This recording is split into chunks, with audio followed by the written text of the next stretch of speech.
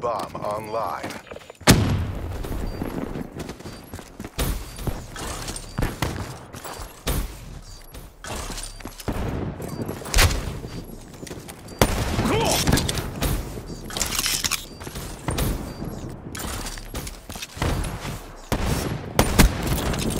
And that's how we do it.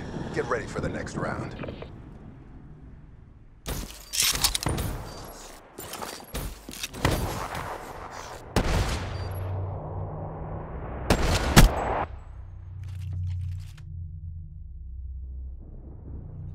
Switching operation ready point.